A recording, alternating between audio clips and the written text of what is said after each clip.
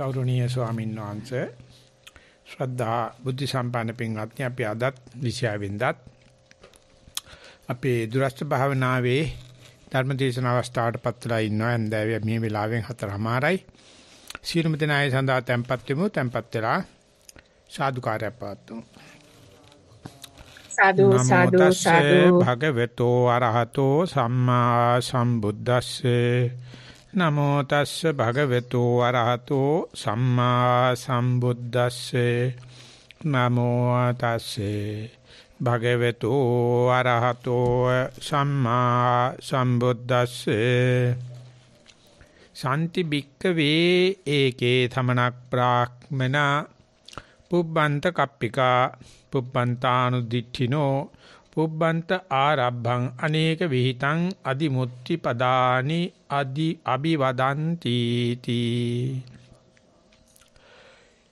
කරුකටේතු ස්වාමීන් වහන්සේ සද්ධා බුද්ධ සම්පන්න පින්වත්නි සර්වඥාන්සේගේ බොහොම තේදවත් ප්‍රකාශයක් තමයි නැත්තම් ශ්‍රීමුක පාඨයක් තමයි.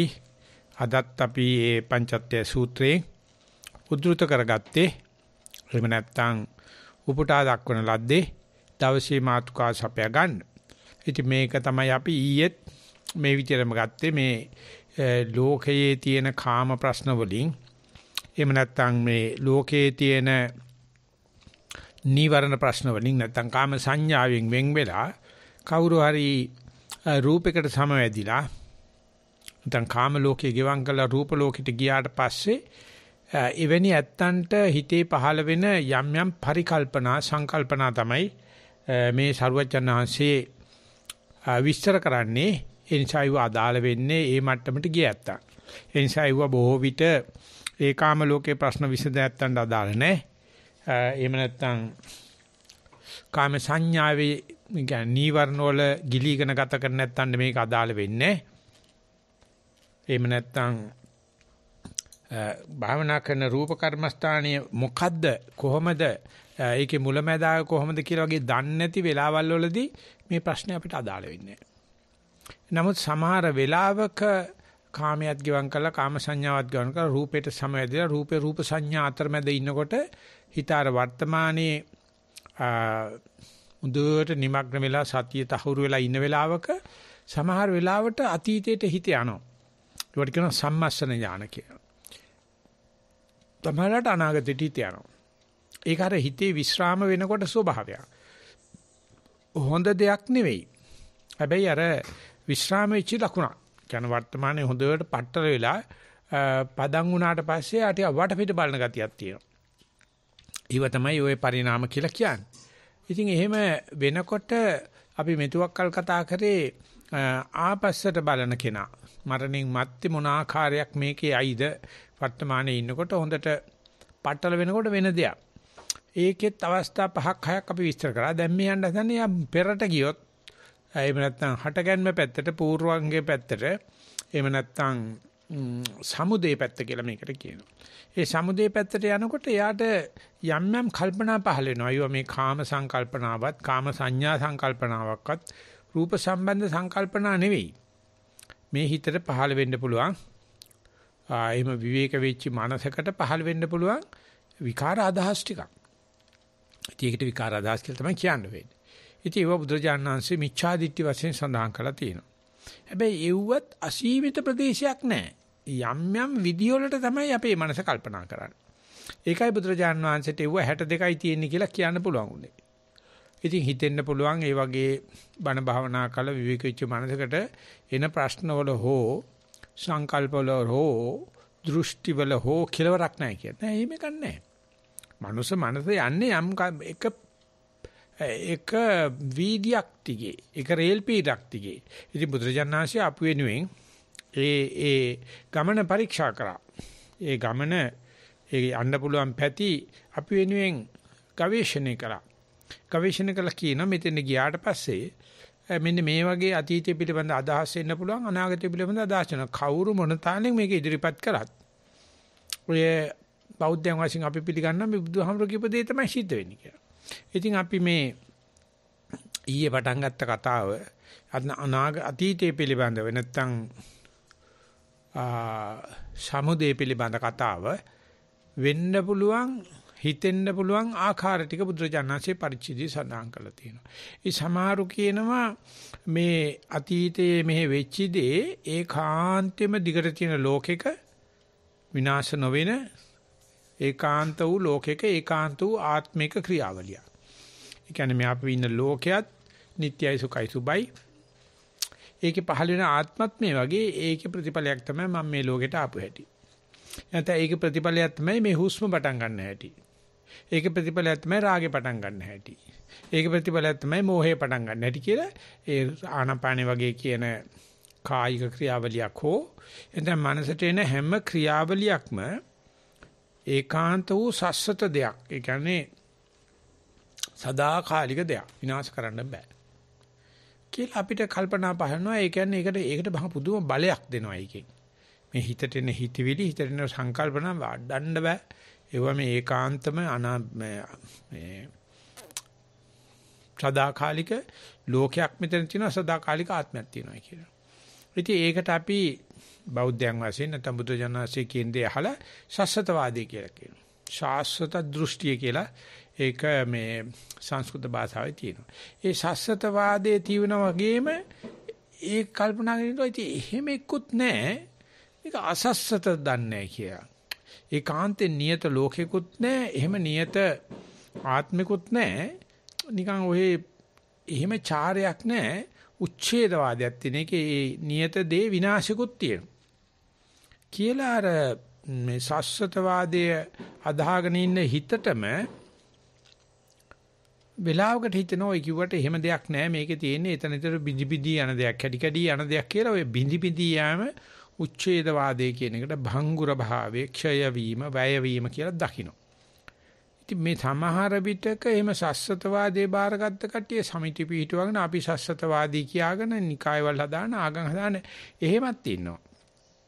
වගේම ඒ අයට ගහන උච්ඡේදවාදීන් සමිති සමාගනුත් තියෙනවා. නමුත් එක හිතේම එක පුද්ගලයාටම මේ දෙකම මේ භාවනා පදනමේ පහළ වෙන්න පුළුවන්. ඒ පහළ වෙනකොට අපි මැක්‍රෝ ලෙවල් එක නැත්නම් ලෝකයේ වශයෙන් දකින්නේ මේ නිට්ටයවාදී ඉන්න බමුණ කොටසක් ඉන්නවානේ. ඒ ඇත්ත ඇත්ත. මාත් ඒගොල්ලෝගේ තමයි. මම මේ ලෝකේ නිට්ටයයි සදාකාලිකයි ආත්මය නිට්ටයයි සදාකාලිකයි කියනවා. ඊට පස්සේ ආයෙසරයක් හිතෙනවා නෑ නෑ ඒක වෙන්න බෑ. ඕකට විරුද්ධව ඉන්නව කණ්ඩායමක් මේ ලෝකෙත් නිත්‍ය නෑ ආත්මයක් නිත්‍ය නෑ. මගේ අදහස ඒක වගේ කියලා. ඉතින් මේ එක පුද්ගලයා තුළම ඒ බාහිරේ තියෙන සමිති දෙකක සමාජිකත්වයේ ගන්න හිතන වෙලාවල් එනවා. පෙරලියක් වෙන්න පුළුවන්. තව සමහරක් ඉන්නවා ඒ නිසා අතරමැදට වෙලා ආත්මයක් ඇත්තේත් නෑ නැත්තේත් නෑ. ඒකාන්තත් නෑ ඒකාන්ත නැත්තේත් නෑ. සස්සතත් නෑ අසස්සතත් නෑ. කියලා ඒ දෘෂ්ටි පිළිබඳව මැද තැනක් ගන්නවා. ඉතින් මේ විදිහට සස්සතවාදී පිළිගනව ආත්මය සහ ලෝකයේ පිළිබඳව මත තුනක් අර භාවනා කරන මනසට එන්න පුළුවන්. ඉතින් ඒක ඇත්තටම කියනවා නම් මේ මනසේ සතිය කඩන නන්නත්තර කරන සතිය මේ හොද හොද මඩේ දාන අදහස් නරකයි. ඇත්තටම නරකයි. නමුත් එන්නේ නැහැ කාම ලෝකයට මෙව්වා. එන්නේ නැහැ සිල් නැති අයට මෙව්වා. එන්නේ නැහැ සමාධිය නැති අයට මේවා. ඒක සමාධිය තියෙන හැට හැමන නම්බුකාර පිස්සුවක් කියලා කියන්න පුළුවන්.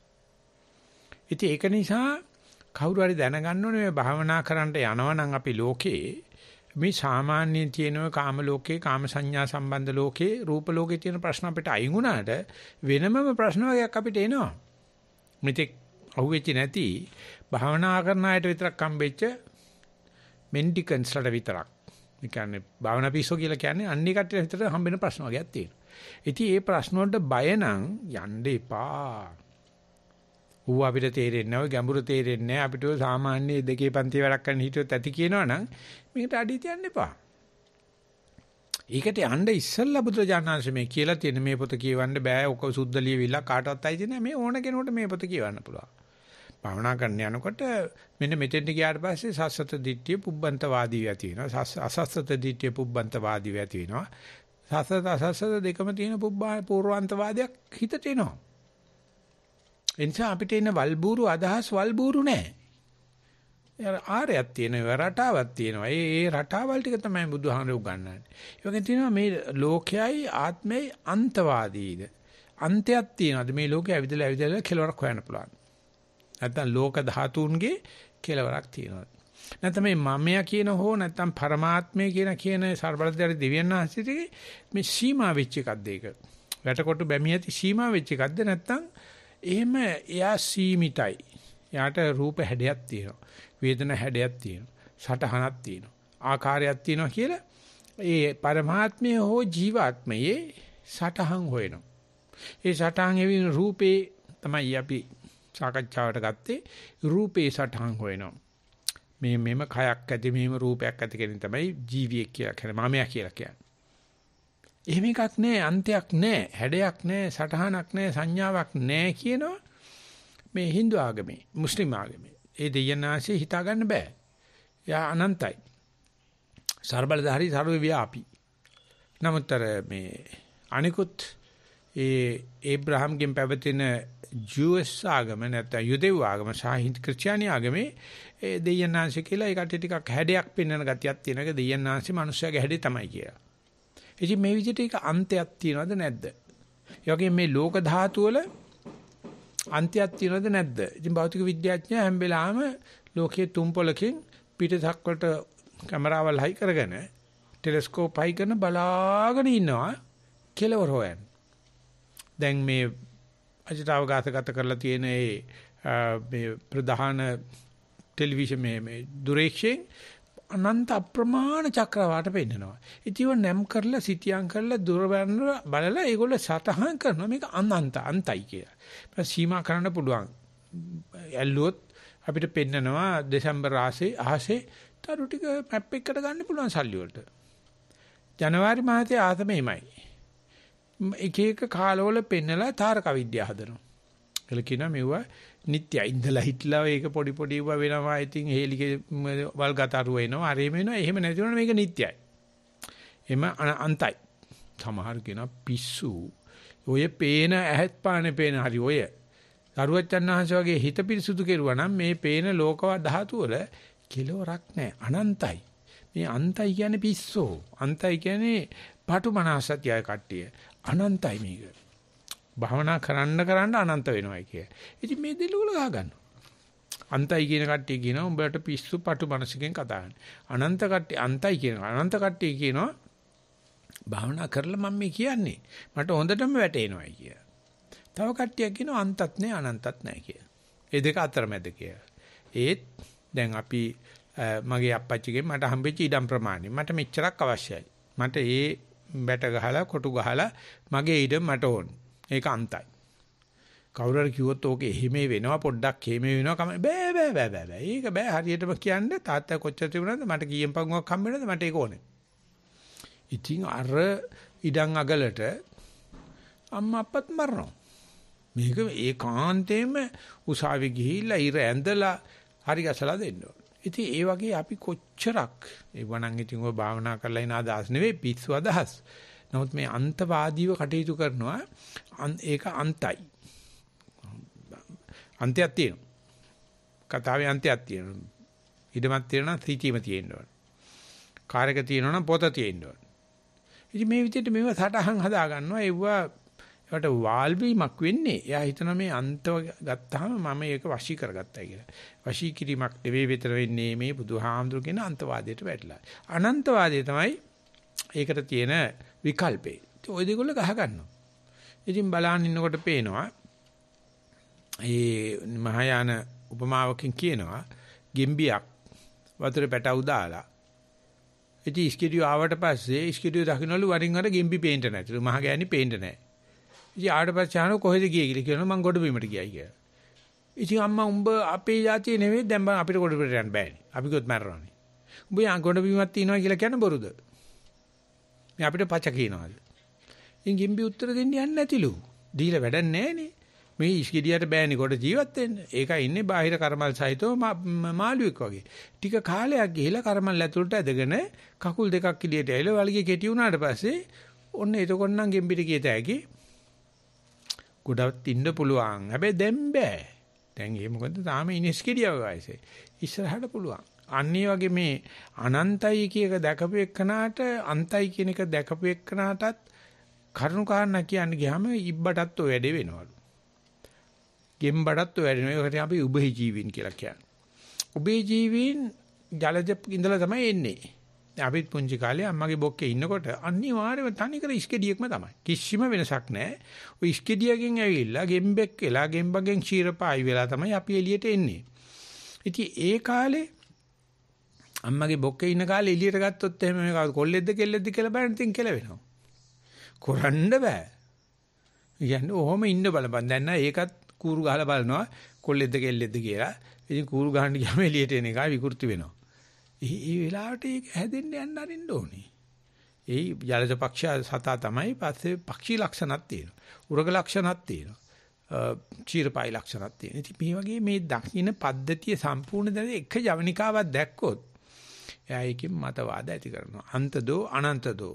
ඒ වගේම පරිත්තදෝ අපමානදෝ. මේ මේ ලෝකයේ කියන එක බොහොම පොඩි දෙයක්. ඒකේ දැනගෙන ඉවර කරන්න පුළුවන්.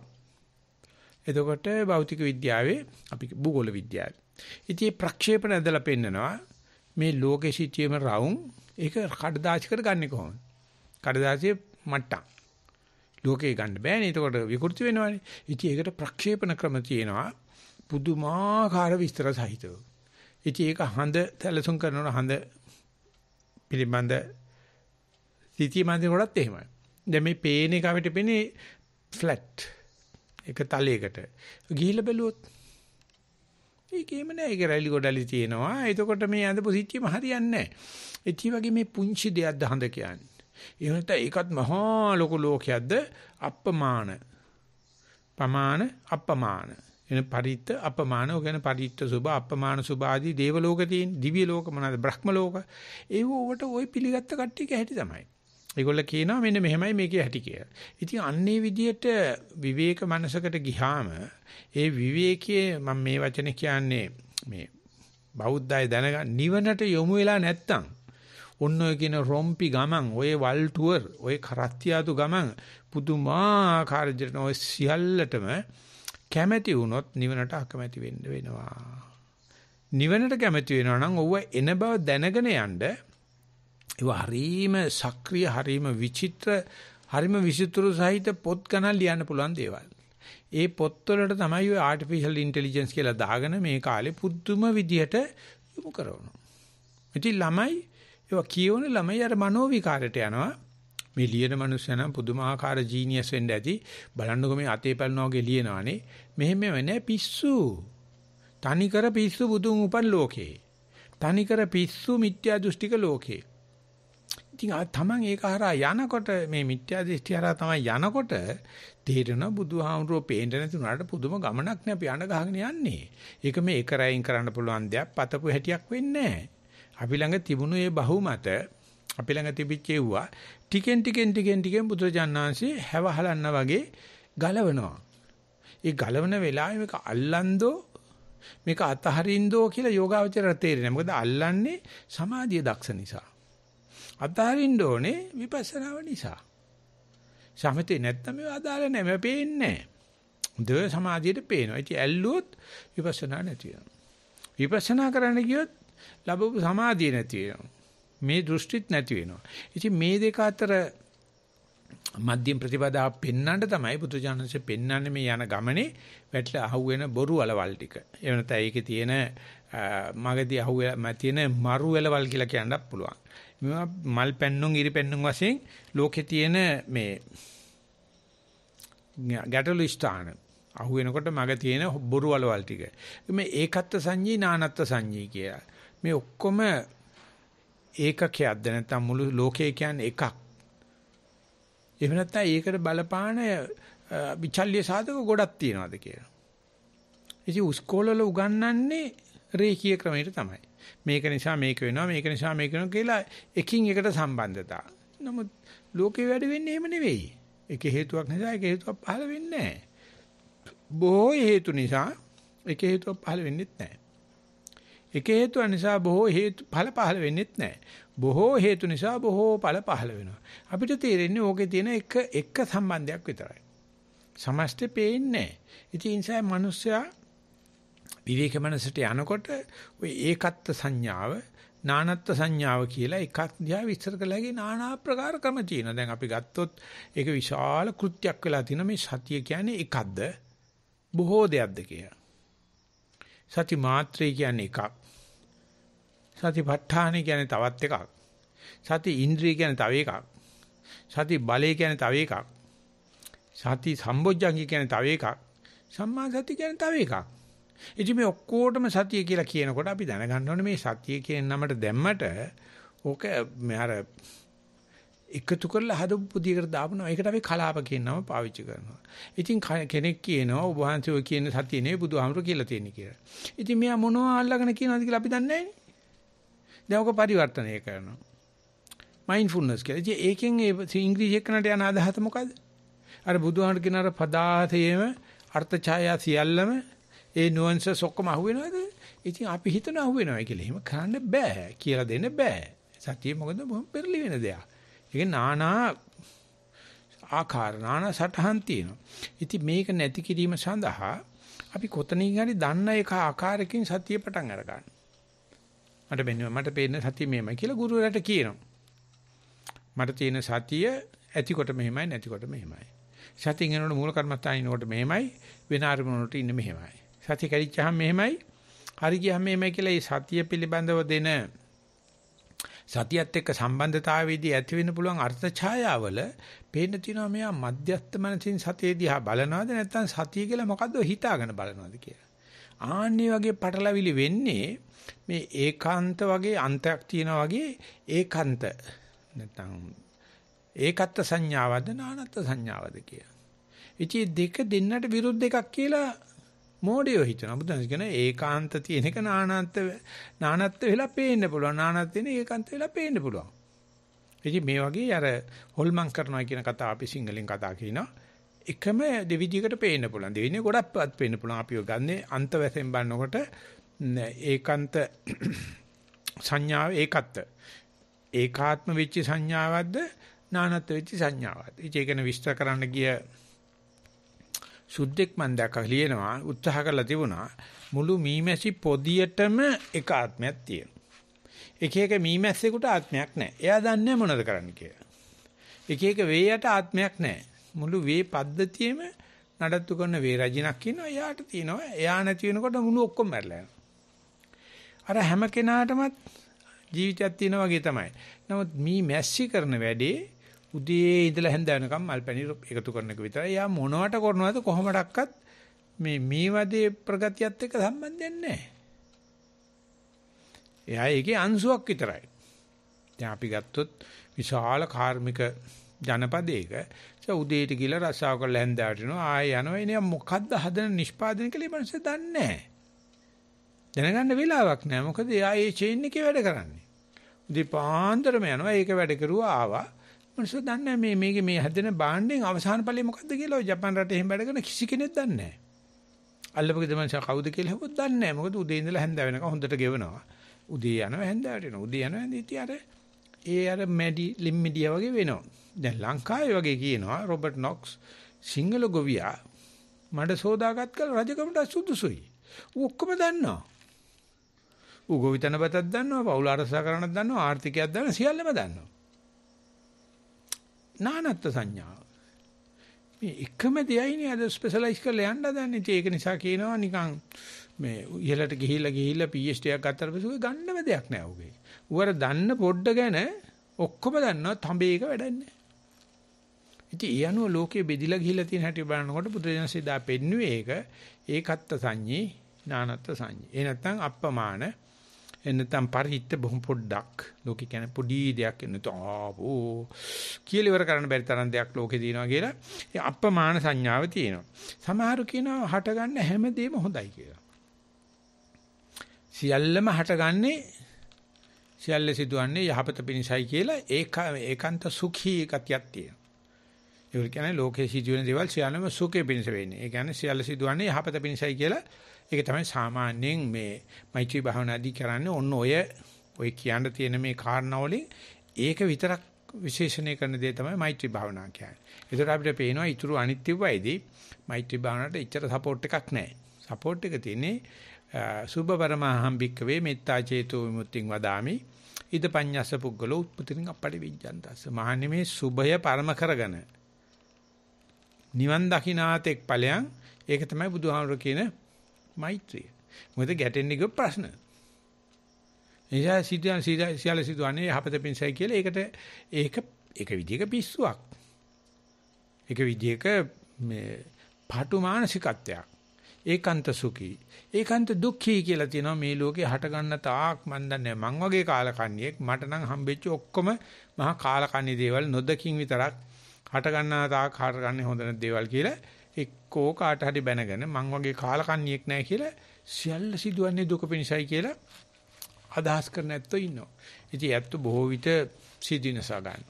එතන යම් කෙනෙක් මරනවා තව කෙනෙකු ඇති වටනකම නැහැ. මොකද හැමදේම දුක පිංස පිටලා තියෙන. සමහර කෙනා සුඛ දුක කලවම් කියලා. සැප දුක දෙක ලෝකේ රිය සකලෙත පෙරලේ. දුකයි සැපතයි කියා තිබුණත් හැමදාම දුකයි ලෝකේ.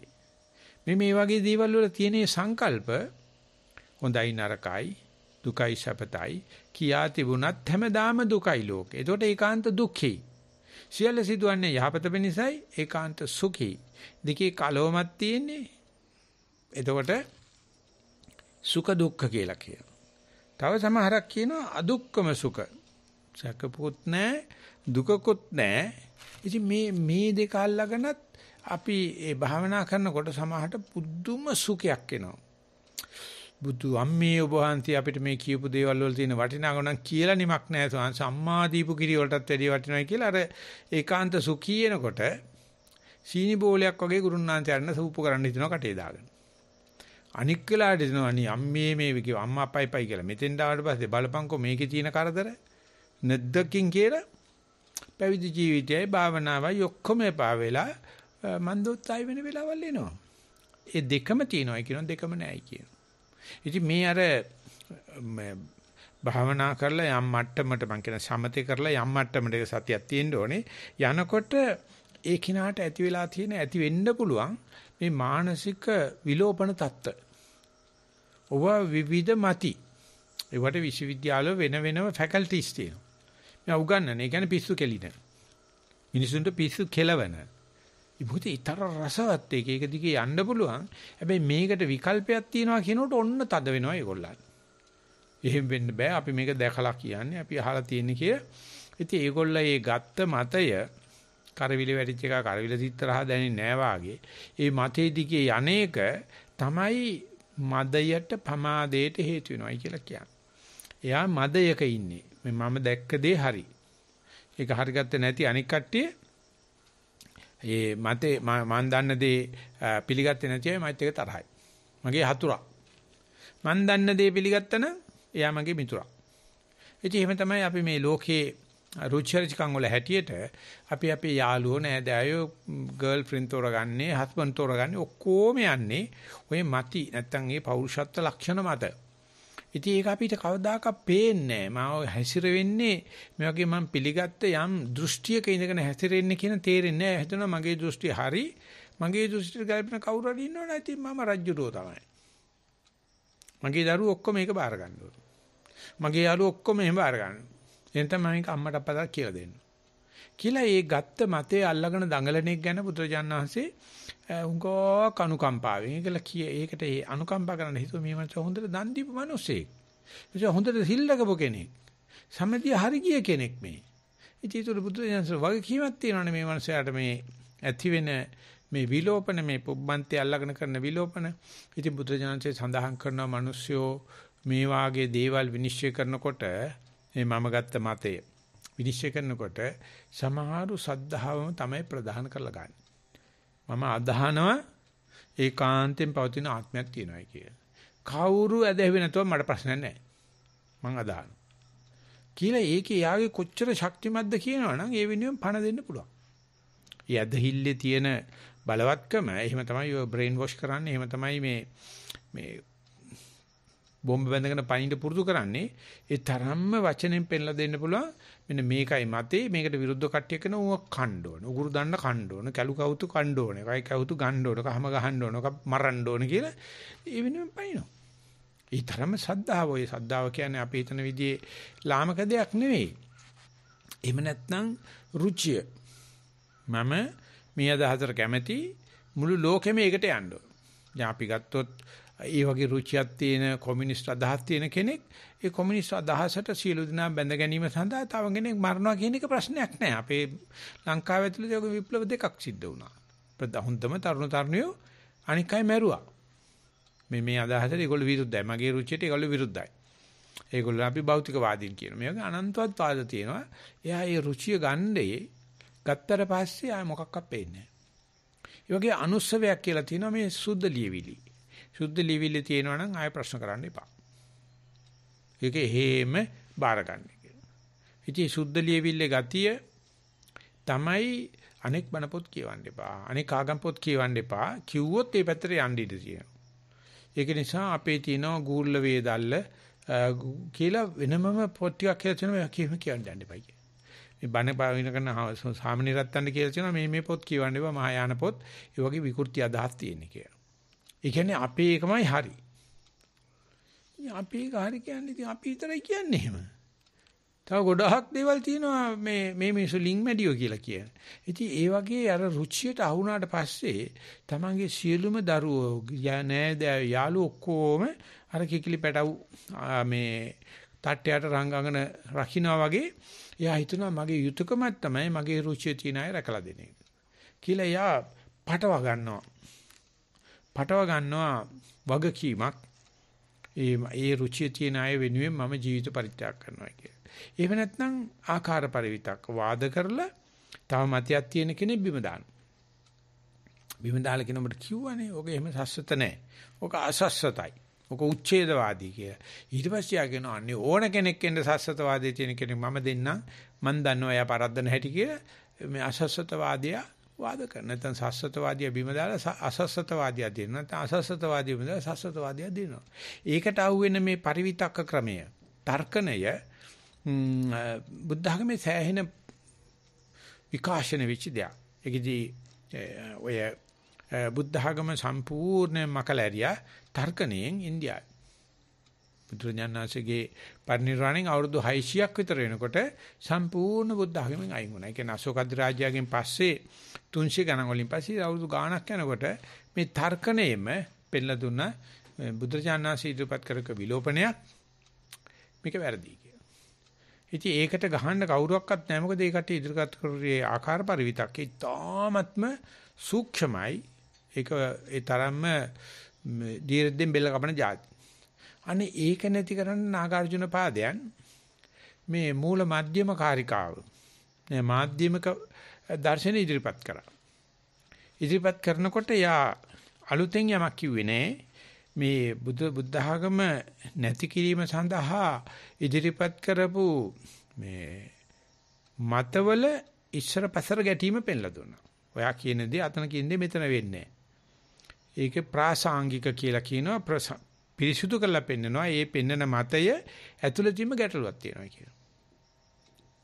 ඉතින් ඒ නිසා ලෝකේ පහළච්ච වැද්දගත්ම තර්ක ශාස්ත්‍ර පොත තමයි නාගාර්ජුන පාදයන්ගේ මේ මුදි මූල මාධ්‍යම කාර්කාව. ඉතින් ඒක හේතු වුණා තේරවාදයේ සහ මහායානෙ කැඩෙන්න. නාගාර්ජුන පාදයන් තේරවාද මහායාන දන්නේ. එයා ඉදිරිපත් කෙරුවේ බුද්ධ ධර්මයට විරුද්ධ ආපු මතයක් ඛණ්ඩණය කිරීම සඳහා ප්‍රාසංගික ක්‍රමයක් ඒ කට්ටි කරපු ක්‍රමේ දොස් දැක්වුවා. දොස් දැක්කලා ඒක බොහොම ජය කෙලි නංගෙන් ජීවත් වුණා කාලයක්. එතකොට උත්තර භාරතයේ තිබුණු මේ බුද්ධ ආගම පල්ලෙහාට ආවා. ওই නාගාර්ජුන කොණ්ඩේ එහෙම තියෙන්නේ පල්ලෙහා පැත්තේ කේරළ දිස්ත්‍රික්කයට එනකොට ඒ පැති වලට එන්න පටන් අරගත්තා. ඊට පස්සේ මේ නාගාර්ජුන කියලා අලුතෙන් ඉදිරිපත් කරුවේ නෑ. ඒ කිරුවේ තිබුණ මේ ඛණ්ඩනය කරපු එක විතරමයි කියලා ඒකත් අභාවයට ගියා. මොකද එයාට කියන්න දෙයක් නෑ. බුදු ජානක කියපු දේ උස්මතු කරලා දුන්නා. තිබුණ දේ ඛණ්ඩනය කරා. තර්කනේ හරහා. තර්කනේ තර්කනේ විසි විනාශ වුණා. තර්කේ තර්කේ විසි විනාශ වෙනවා. ඒක තමයි ඒකේ හැටි.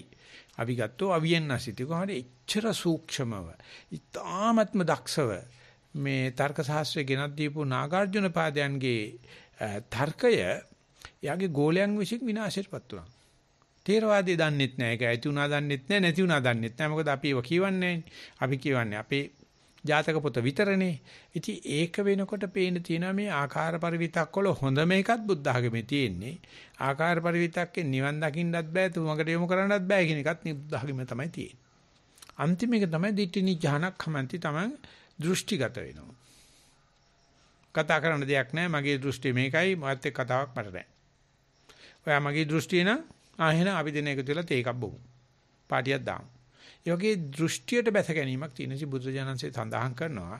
මේ මතවාද මේ කියපු ටික සේරම ඔය පහෙන් එකක් අරගෙන එක්ක සද්දාව, එක්ක රුචිය, එක්ක ආකාර පරිවිතක්, එක්ක අනුස්සතිය, එහෙම නැත්නම් ditthi නිජහනක් කමන්ති කියන මේ ඒකපාර්ශවීය වශයෙන් අරගෙන තමා වශයෙන් ප්‍රචක්ෂණය කරලා නැති ප්‍රත්‍යක්ෂණය කරලා නැති කෙනෙක්ගේ ආංශික සත්‍යයක් තියෙනවා මේකේ.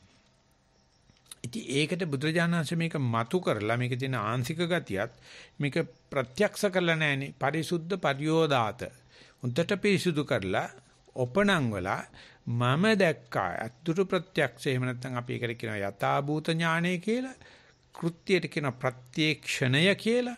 අන්නේ ප්‍රත්‍යක්ෂණයෙන් තොරයි කියලා ඔය මත ඔක්කොම පෙන්නලා ඒවා සාධාරණීකල තියෙන මෙන්න මේ පහෙන් එකකින් ඒ ක්‍රම ඒ ක්‍රමවල තියෙන දෝෂේ පෙන්නලා මේක සරුවච්චන් වහන්සේ මේ මතෝලින් ඉක්මවීම සඳහා ප්‍රතිපදාවක් ඉදිරිපත් කරා.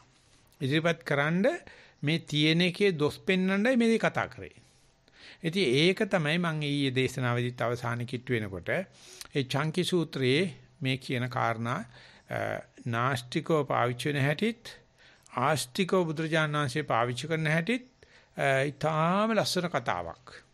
චංකි සූත්‍රයේ තියෙන කතාව පුදුමාකාර මේ සියලු දර්ශනයන්ගේ සම්පින්නයක් වගේ කියන්න පුළුවන්. එතෙන්දිත් ඊයේ කීපයක මම නැවත කියන්නේ චංකි කියන ගමේ ආයිනේ තියෙන කැලේකට බුදුරජාණන්සේ වැඩිහාම චංකි ගමේ ඉන්න චංකි කියන ගම් දෙටුවා නැත්නම් මහ බමුණා. එළියට එනකොට දකින්න මිනිස්සු විශාල ප්‍රදේශයක් මල් පහන් අරගෙන යනවා කොහෙද? ඉතියා සේවකෙන් අහනවා මොකද මේ මිනිස්සු ඔක්කොම යන්නේ? ඊට කියනවා සරුවච්චන්හන්සේ වැඩලා අපේ ගම ළඟ තියෙන කැලියට උන්වහන්සේ මේමයි අරහං සම්මා සම්බුද්ධෝ විජ්ජාචන සම්පන්නෝ සුගතෝ ලෝකවිදු අනුත්තරෝ පුරිස ධම්ම සාර්ථී සත්තා දේවමනසානම් බුද්ධෝ භගවා. මෙන්න මෙවැනි ಗುಣ නමයක් ඇත්තා වූ උත්මේක් ලෝකේ පහළලා ඉන්නවා මේ අපේ ගමට ඇවිල්ලා. එදා සංකේ බාක්මලයේ ගෙදර ලොකු කොන්ෆරන්ස් එකක්. 500ක් ඇවිල්ලා ඉන්නවා ප්‍රදේශයේ ඉන්න බමුණු. මෙයා බමුණු නායකයා. මෙයා ඊට පස්සේ අර කොන්ෆරන්ස් එකට ගිහිල්ලා කියනවා අපේ ගමට බුදුහාමුදුරු ඇවිල්ලා ඉන්නවලු. අපි යන්. ඒතර ඔක්කොමලා කියනවා එහෙම කරන්න බෑ. අපි ආවේ මේ බමුණු මතයක් තියෙන කොන්ෆරන්ස් එකට එහෙම නැත්නම් සම්මන්ත්‍රණයකට. ඔබතුමා තමයි නායකයා. මේ බුදුහාමුදුරකට ගහන කෙනෙක්. බුදුහාමුදුරුවෝ ඌ අගය කරන්නේ යන්න බෑ කියලා. ඊට පස්සේ ඒගොල්ල හේතු කාරණු දක්වනවා මේ බුදුන්සේ මේ කියන කාරණා.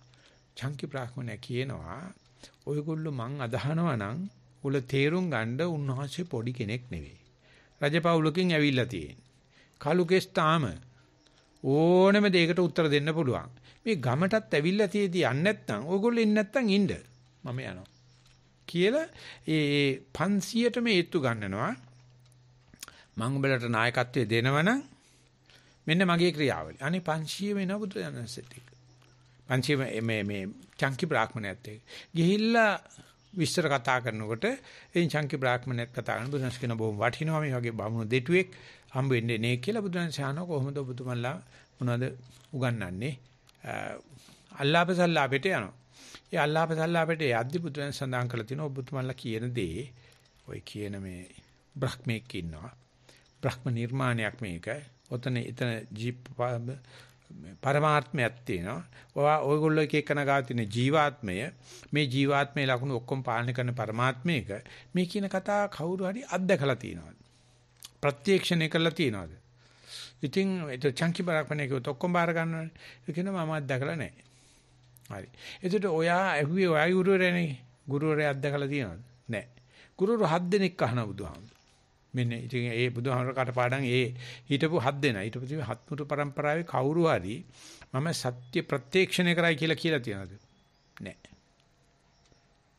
ඉතින් මේ වැඩේ යද්දි ඒකේ ඉන්න බාලම බමුණා කාපටික කියලා 16 ඇවිල්දී ත්‍රිවේද පාරගු. එයා මේ මේ චංකි බ්‍රාහ්මණයා බුදුහාමර කතා කරද්දී අතුරු කලාවක් කියලා. ඒ කියන්නේ මැදට පැනලා දෙන්න හදනවා. පැහිය වෙන්න හදනවා. බුදුරජාණන්සේ කියන මේ වැඩි හිටියෝ කතා කරනකොට පැහෙන්න එපා. හිටපන් කියලා. මේ චංකි බ්‍රාහ්මණයට හිතට කනගාටුයි මොකද ඒ සභාවෙම ඉන්න ප්‍රභූවරේ කියා. ඊට පස්සේ කියන අවසරයි ස්වාමීන් වහන්සේ මේ චං මේ කාපටික බ්‍රාහ්මණයා පොඩි එකා හරිම උගත්. හරිම දක්ෂයෙක්. ඒ නිසා එයාටත් යමක් කමක් තේන්නේ නැහැ. ඒකට එකට වෙලාවක් දෙන්නම් මං. මේ පැහෙන්න එපා. කියලා බුදුරජාණන් මිනිහා නතර කරනවා. නතර කරලා මේ බමුණු දෙන්නයි කතා නැත්නම් බුදුහාමුදුරුත් බමුණෙක් කියමුකෝ. බුදුරජාණන් වහන්සේ චංකි ප්‍රාණ කතා කරන පස්සේ කාපටිගේ මූණ දිහා බලනවා. තියෙනවා ප්‍රශ්නක් අහන්න. ඒකට කාපටික අහනවා බුදුරජාණන්සේ මෙහෙමයි ඔබ වහන්සේ දැන් බලනකොට සෑහෙන යමක් කමක් දන්න කෙනෙක් අපේ ලොක්කත් සෑහෙන යමක් කමක් දන්න කෙනෙක්. ඒ වුණාට දැන් මං වගේ කෙනෙක් මේ මේ මුළු මේ Brahmacharya නැත්තම් ඒ කම ගත කරන බමුණු ජීවිතය ගත කරන පුදුමාකාර සද්ධාවකින්.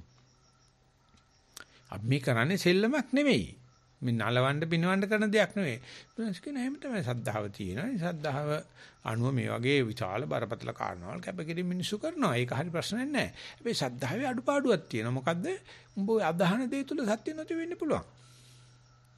උඹ මේ මට එපා මට නොදකින් කියන දේ තුල සත්‍යය තියෙන්න පුළුවන්. දැන් අපි ඒකට කතාවක් තියෙනවා මේ පැරණි ඒක නෙමෙයි සිංහල කතාවක් වෙන්න ඇති.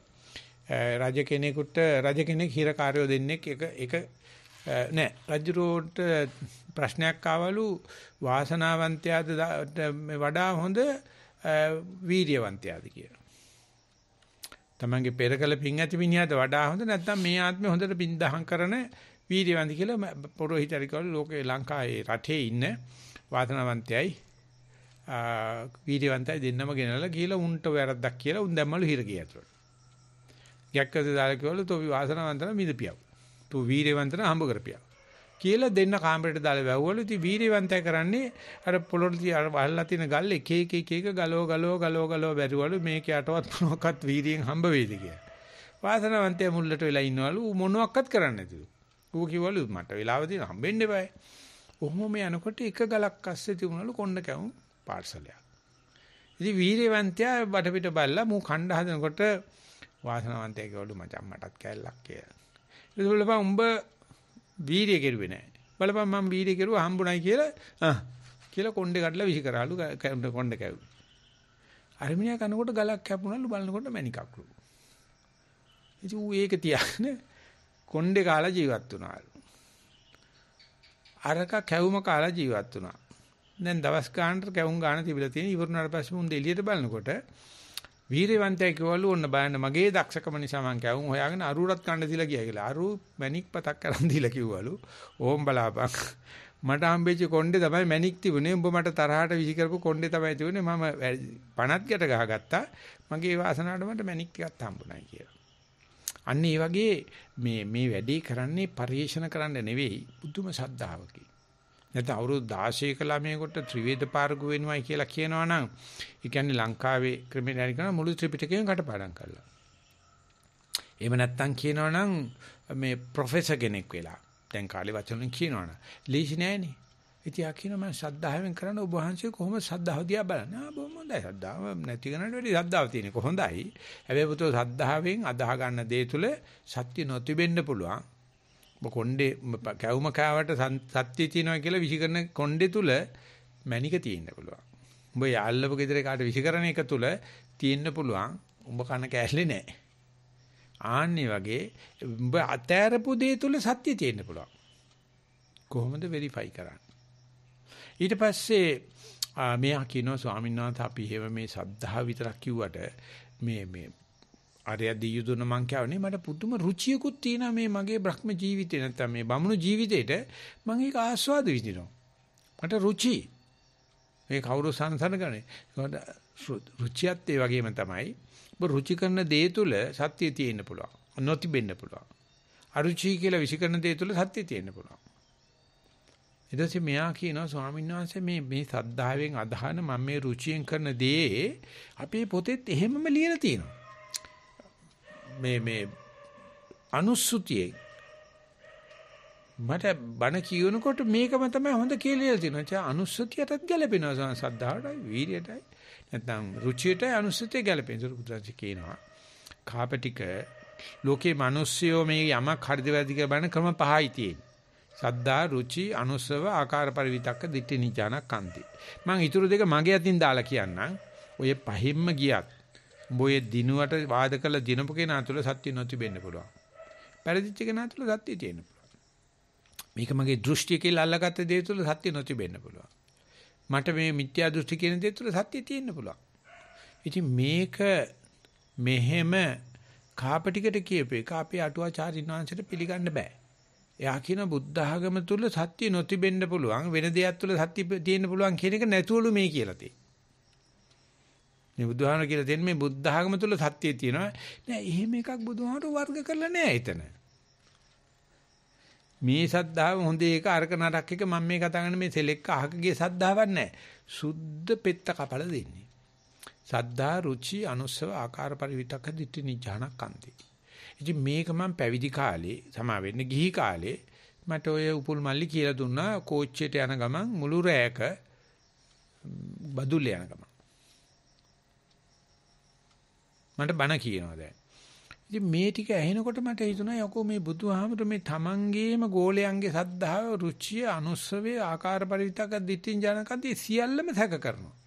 ඉතින් කොහොමයි මේ අපි ඇයි බුදුහාමුදුර වන්නුගමනය කරන්නේ? අය අපි බුද්ධහම කරන්නේ. බුදුහාමර කියනවා මේක තුල සත්‍ය නොතිබෙන්න පුළුවන්. කිසි වෙන කිසිම සාසුන් වහන්සේනමක් එහෙම කියන්නේවත් නැහැ. කිසි කෙනෙකුට එහෙම කියන්න පුළුවන් කමක් නැහැ. බොය අදහගෙන අදහපන් කියලා විතරයි කියන්නේ. බුදුහාම කියනවා මේකවත් අදහන්න එපා. මේකවත් පිළිගන්න එපා.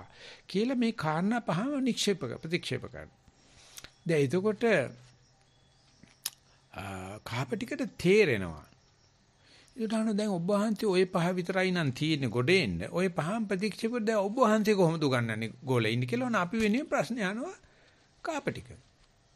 දැන් ওই පහම ප්‍රතික්ෂේප කරනවා නම් තියෙන්නේත් ওই පහ විතර නම් ඔබ වහන්සේ කොහොමද මේ කෙනෙකුට මේ ප්‍රත්‍යක්ෂණයක් කියලා දෙන්නේ අද්දකට ප්‍රත්‍යක්ෂයක් ගන්නෙ. එහෙම නැත්නම් අපි කියනවා නම් යථාභූත ඥාන දර්ශනයක්. එහෙම නැත්නම් යථාව දර්ශනයක්. ගන්නෙ කොහොමද කියලා. එතකොට බුදුරජාණන්සේ මේ පහ එකින් එකට එකින් එකට පෙළ ගැස්සලා පෙන්නනවා. ප්‍රතිපදා කියන ඕකට. සද්ධා ජාතෝ උපසංකමති. සද්ධාව තියෙන කෙනාට ඉන්න බෑ. එයා කාපුරු හරි ළඟට ගිහිල්ලා අහනවා. අපි යමකට අවශ්‍යතාවකට මොටිවේට් වුණොත් වැඩ කරන්න ඕනේ කියලා හිතුනොත් අපිට මෙතන ඉඳලා හරියන්නේ අපි හොයාගෙන යන්න ඕන. සද්ධා ජාතෝ උපසංකමති. එළඹෙනවා. කාගේ හරි ළඟට එළඹෙනවා. උපසංකමන්තෝ පෛරුපාසතිය විලුල ගිය ගමන්ම මේක තියෙන ධර්මයේ බලන්න පොඩ්ඩක් ඇසුරු කරලා බලනවා. මේ මිනිස්සයා මොනවා කියන මොනවා කරන කෙනෙක්ද කියලා පොඩ්ඩක් ඇසුරු කරලා බලනවා. පෛරුපාසන්තෝ සෝතං ඕදහන්ති. මේ ඇසුරු කරන ගමන් කන දාලා බලන මිනිස්සයා මොන වගේ දෙයක් කියන මොන වගේ දෙයක් කරන කෙනෙක්ද කියලා බලන්න කන නතු කරනවා. නතු කරන්නේ දැන් තුන්වෙනි පියවර සද්ධාවෙන් එළඹෙනවා. එළඹෙන්නේ කන නතු කරනවා. ඔහිත සෝතෝ ධම්මං සුනාති. එතකොට මේ පුද්ගලයා කියන බණ ඇහෙන්න පටන් ගන්නවා. එයාට සද්ධාවට ලැබෙන හතරවෙනි ආනිසංසය තමයි ඔහිත සෝතෝ ධම්මං සුනා. සුත්වා ධම්මං ධාරේති. මෙයා ඒ වෙලාවෙම හා කියන්නේ යන්නෙත් නෑ. නෑ කියන්නේ අනිත් නෑ හිතේ තියාගන්න. මෙයා කියනවා ආනාපානි කරොත් හරියයි කියලා. මෙයා කියනවා මෙහෙම කරොත් හරියයි කියලා ඔන්න කාරණාව තේරුම් ගන්න මෙයා හිතනවා. මෙයා හිතේ තියාගන්නවා ඔක්කොම තියදී සතිය වඩන්න ඕනේ කියනවා. ඔක්කොම තියදී ආනපානේ කරන්න ඕනේ කියනවා. එපයි කියන්නෙත් නැහැ කියන්නෙත් නැහැ. බාර ගන්නෙත් නැහැ. ඊට පස්සේ ඔහිතසෝතෝ ධම්ම සුත්වා ධම්මං දායි දතානං ධම්මානං අත්තං උපපරික්කති. ඔය කියන විදිය ඔය සතිය වගේ දෙයකින් ඔච්චර දුර ගමනක් යන්න පුළුවන්ද? මේ හුස්ම දිහා බැලලා හුලන් දිහා බැලලා ඔහොම සුද්ධියක් වෙයිද? මේ ඇවිදිනකොට පයේ තියෙන එක දිහා බලලා සුද්ධියක් වෙයිද කියලා යාර දැන් මේ ලෝකේ ජීවත් වෙච්ච මිනිස්සෙක්නේ අර්ථය පරීක්ෂා කරලා බලනවා මේ කියන වැඩි. ඉතින් එතකොට මෙයාට මේ ධර්මේ ලැබිලා ඇතුළත අනුපස්සනා වෙනවා. අනුපස්සනා කියන මේක කියන්නේ ණය විපස්සනාව සිද්ධ වෙනවා. න්‍යායානුකූලව කල්පනා කරන මෙහෙම දෙයක්ත් වෙන්න පුළුවන්ද කියලා. අත්තං උපපරික්ඛන්තෝ අර්ථය සලකා බලනකොට එයාට ඡන්දයක් ඇති වෙන ඕන එකක් විචාවේ කරලා බලන්න කියලා. ඒ බුදුහාමර කියපු දේ අපි දැන් බුදුහාමර කිව්වයි කියලා නැත්තම් ගෝලෙක් කිව්වයි කියලා ශාවකේ කියපු දේ මේ අත්තං උපපරික්ඛති. උපපරික්ඛනට යාර පේනවා මේකෙන්ම නම් කරන්න බෑ. මම පොඩ්ඩක් වාඩි වෙලා බලන්න ඕන. මම පොඩ්ඩක් සක්මන් කරලා බලන්න ඕනේ මේකෙන් ඇත්තටම මේ මේ ගමන පටන් ගන්නවද කියලා.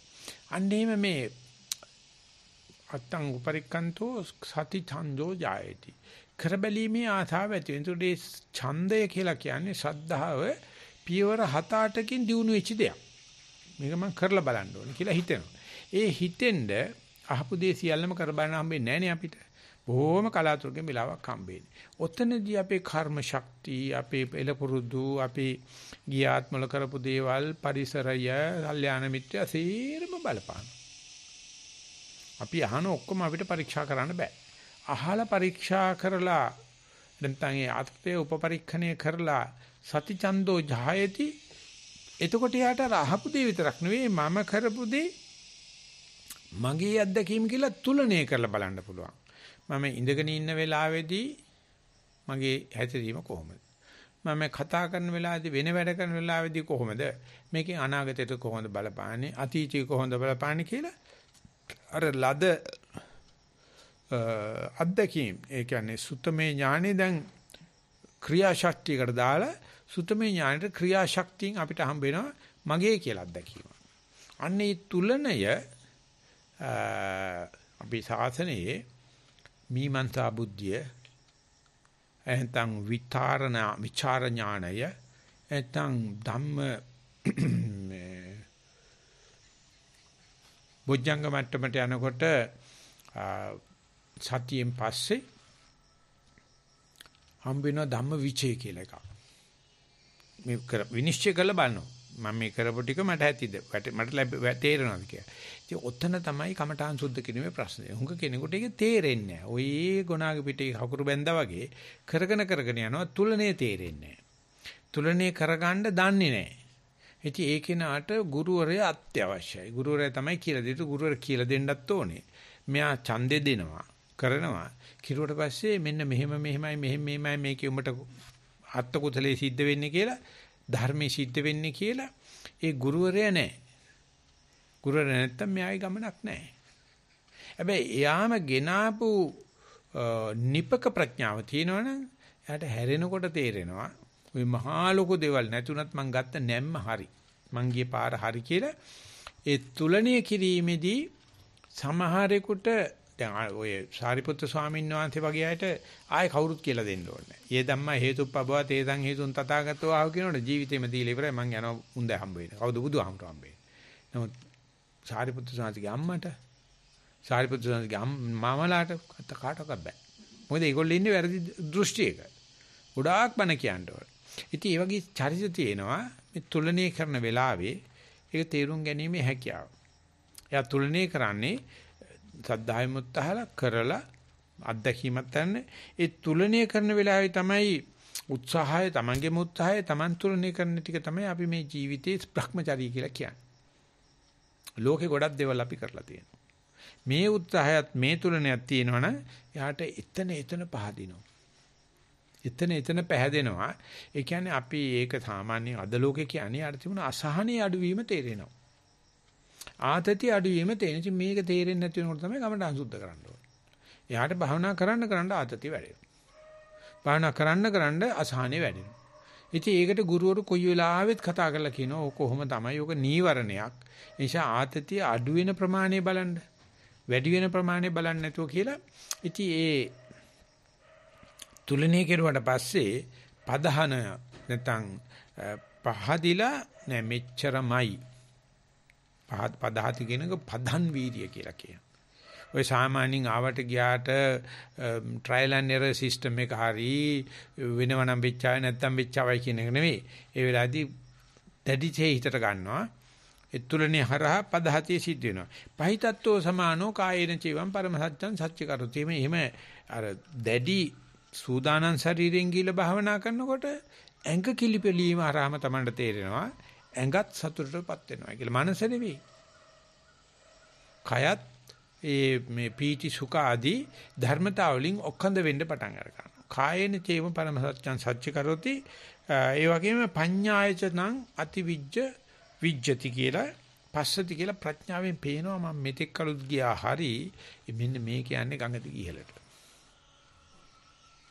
කියලා මේ ප්‍රඥාවට පේනවා. ඒක මේ කවුරුත් පෙන්නපු පොතේ තිබුණ එකක් නෙවෙයි. අන්න එහෙම වෙනකොට මෙහෙම කියලා මේ ලස්සනයිනේ කතාව දැන්.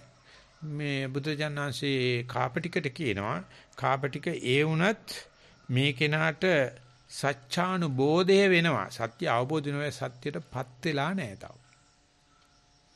මෙයාට සත්‍ය අවබෝධ වෙනවා. නැත්නම් කලියුත්ත වැටහෙනවා. හැබැයි සත්‍යයට තාමපත් වෙලා නැහැ. මේ පාර තමයි හරි කියලා තේරෙනවා. මේ කෙලවුරුනාට පස්සේ හම්බෙන ඒ සාක්ෂාත් කරන්නේ තාම ඇවිල්ලා නැහැ. ඉතින් අපි එතනින් බණ නතර කරන්නයි යන්නේ. අපි හෙට බලමු. එතකොට බුදුජානන්සේ ඒක කියලා මේ කාපටික බ්‍රාහ්මණය ගෙදර එළවනවද? කතාව නතර කරනවද? නැත්නම් ඉතුරු ටික කරන හැටි කොහොමද කරන්න කියලා කියලා දෙනවද කියලා බලන්න. ඒ චංකි සූත්‍රයේ කොටසකුයි මම ගන්න බලාපොරොත්තු වෙන්නේ. මේ කියන පුබ්බන්ත දෘෂ්ටි අරගෙන අසරණ වෙච්ච අයට බුදුහාමරෝ කරකොලතරින්නේ බොහෝම ලස්සන උත්තරයක් දෙනවා. මේක පිළිබඳව වැඩි විස්තර ගන්න ඕන නම් ලොකු ස්වාමීන් වහන්සේගේ සමත විදර්ශනා භාවනා මාර්ගයේ බොහොම ලස්සනට ওই පියවර ටික විස්තර කරලා තියෙනවා. මේකට තමයි අපි ප්‍රතිපදා අනුපූර්වයෙන් යන ගමනක් තියෙන්නේ. ඒ ප්‍රකාශයත් එක්කම අපි දවසේ ධර්ම දේශනාව නතර කරනවා. චිරු දිනාට සැනසීම උදා වේවා කියලා ප්‍රාර්ථනා කරනවා. සාදු සාදු සාදු